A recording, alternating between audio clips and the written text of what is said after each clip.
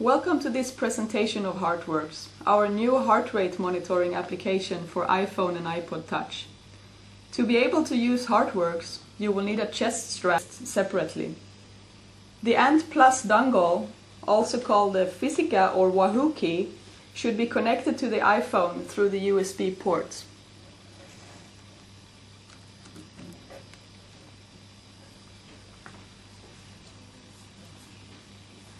The ANT Plus dongle uses a technology that is ultra-low powered wireless transmission in 2.4 GHz. It may be purchased from Wahoo Fitness.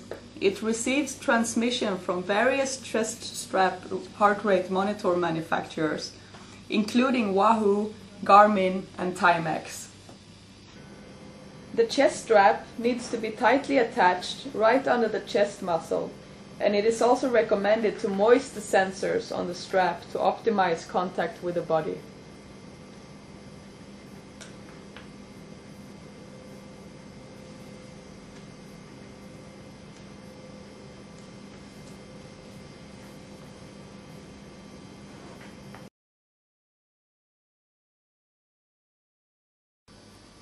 Now when the chest strap is attached and the dongle is connected to the iPhone, we enter the application. This is the main screen and by pressing the start button the application begins monitoring your heartbeats. In the display you see your average heart rate and also the quality of the connection to your chest strap. An animated heart will beat in the same rhythm as your own heart. You can also choose if the display should be lit or not.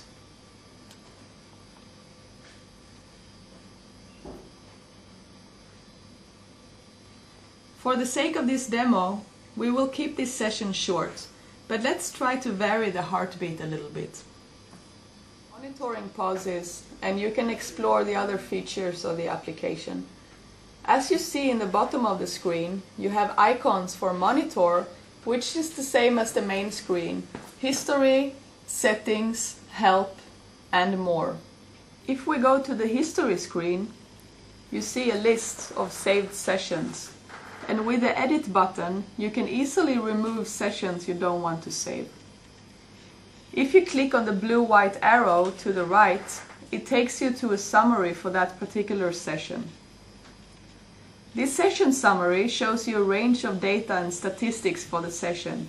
And you can also add a note to your session if you have some thoughts that you want to remember. If you click the graph button, the session will be shown in a graph.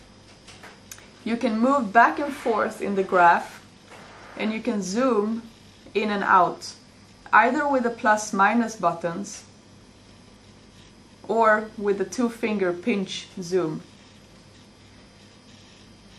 The graph also contains internal or external events that you can click on to get more information.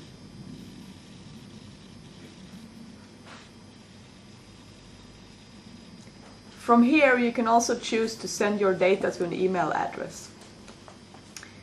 There are a few other screens in the application which we will only mention briefly. In the settings You can decide whether there should be a beeping sound simulating your heartbeat while the application is monitoring your heartbeat. In the menu, you also find a help screen with lots of information on how to use the application as well as contact information. The More screen gives you some information about our other products. And that's basically it.